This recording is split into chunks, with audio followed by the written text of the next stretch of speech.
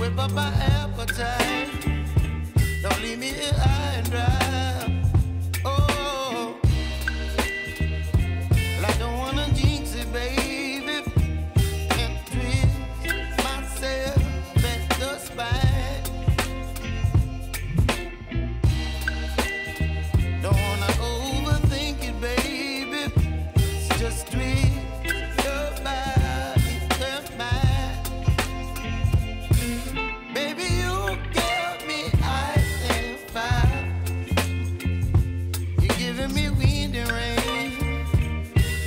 anniversary.